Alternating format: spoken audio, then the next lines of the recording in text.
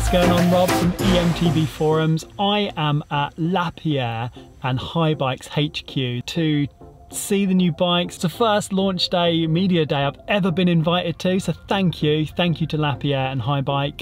Let's go and check it out.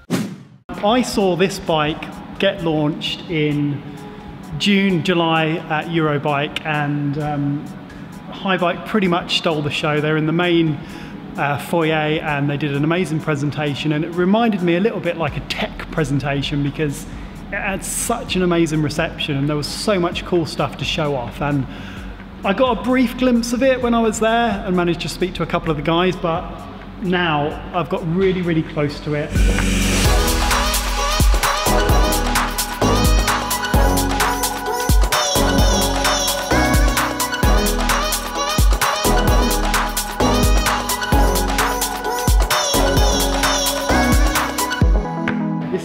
Haibike Flyon Enduro 8, which is coming out in. I can confirm it will be June next All right, so much hype Yeah. about this bike. What What are your thoughts about it? What are you excited about? Tell me a bit about it. Ultimately, this is taking the e-bike, the EMTB to the next level. This is game changing. It genuinely is.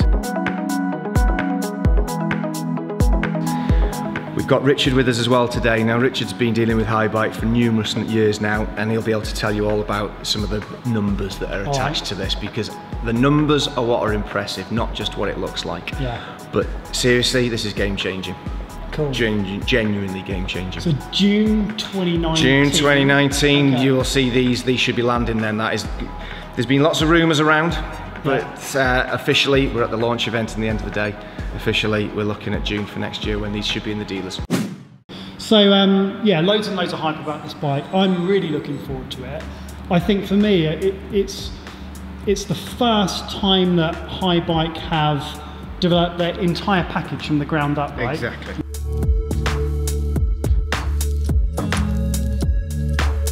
So TQ motor, which is super super powerful, 120 newton 120 meters, newton meters. which Yeah. is insane. But the way it's controlled and the way, you know, when you're riding it, you put your p- uh, power through the pedals.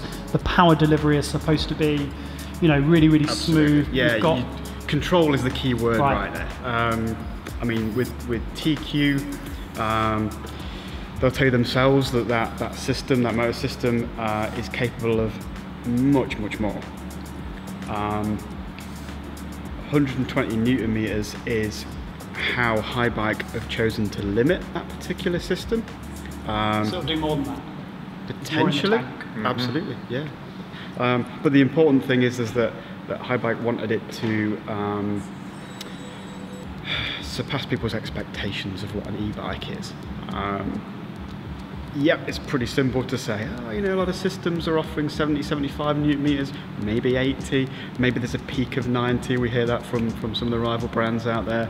Um, but for a brand to put that line in the sand and say it's 120 newton meters, we promise that, not just it might be up to.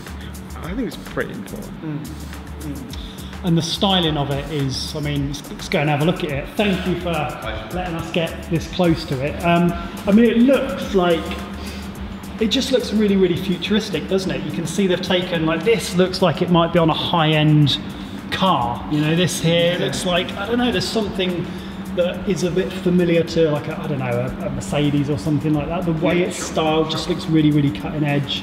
The battery is fully integrated into the down tube here, so I'm guessing it kind of slides up there. And then you've got the um, the display, which uh, my understanding is the display, depending on the speed that you're doing, will adapt. So it will show you It's different. dynamic.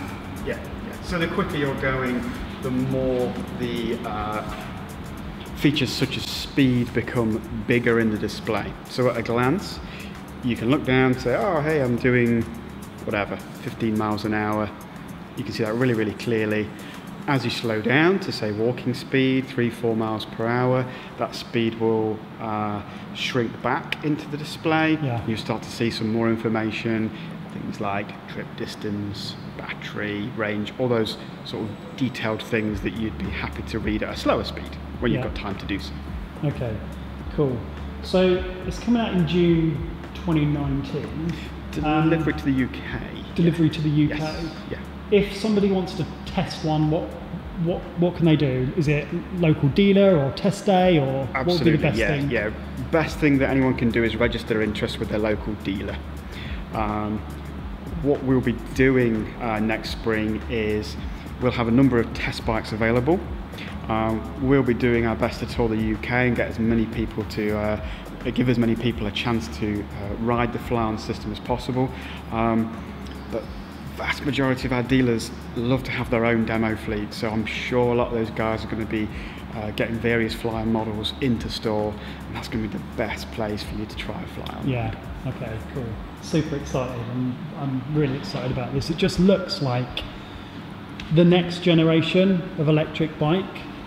The way it is so clean that the all the cable is routed through these, and these are um, these are like air vents. Something you pointed out then, Rob, actually, Yeah. was the was the chainring right there, um, that looks sort of finned and very stylised. Um, well, that's kind of intentional. Um, the guys chose to try and mirror the opposite side of the TQ drive there. Okay.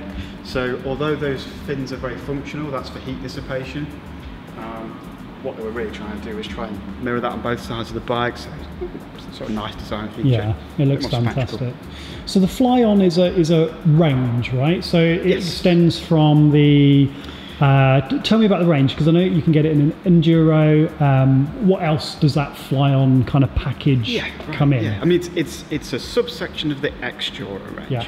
So we sort of I think most people are familiar with XDURO being the extreme side of uh, of what Haibike do.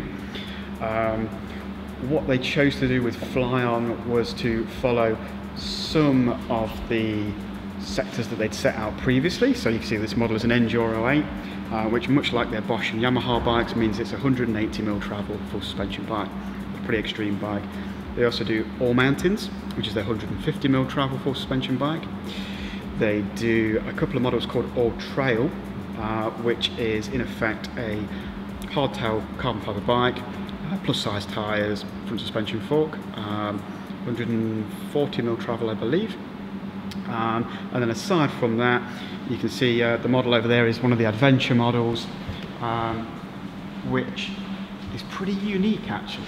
Um, not maybe at first glance, but with these bikes, Haibike are sort of setting their stall out for what an e-bike could be. So, although it has racks, mudguards, lights, just like a trekking or cross bike, it's a 27.5 inch wheeled mountain bike. Yeah. Um, where what we're finding is that uh, a lot of people are buying um, an entry level mountain bike, um, but they're not just going mountain biking. They want to travel, they want to commute to work, they want to take luggage, they want lights, mudguards, all those accessories that make the bike more usable. Cool. Thank you. So, what would you want next year? What's your bike? What are you going to choose? Um, all man. All mountain over the zesty or if you, if you Oh, can. hang on, hang on. Oh. He's asking me to Or do you split have between my both? two favourite brands. Um, weirdly enough, it's, it's, it's keeping me awake at night. Is it? Well, I, I've been a mountain biker my whole life. I love e-bikes. Yeah. I ride e-bikes. Do I want the ultimate e-bike? Or do I want the ultimate mountain bike, which is what the e-Zesty is? I think that's getting to be two distinct things. Yeah, totally.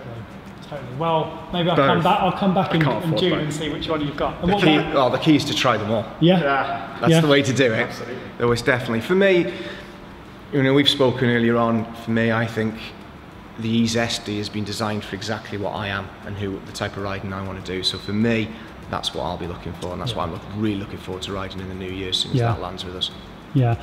Well, I, I think you've got um, like the market for e-bikes next year. You've got an amazingly diverse selection from absolute lightweight um, e-zesty right through to touring and trekking bikes, right through to a bit more extreme stuff, higher travel, longer travel, uh, for more burly stuff. So it's been amazing. I think, needless to say, model year 19 is going to be exciting for us, yeah. without a doubt. Well, it's going to be really exciting. Great year. So thank you so much for having me. Pleasure. Thanks for inviting No, me. thanks It's for been coming. great to have a look Thank around Yeah. and uh, I'll just take this one as well with the zesty. course, yeah? mate, no yeah, problem at all. cool, cool. Cheers. nice one. Cheers, mate.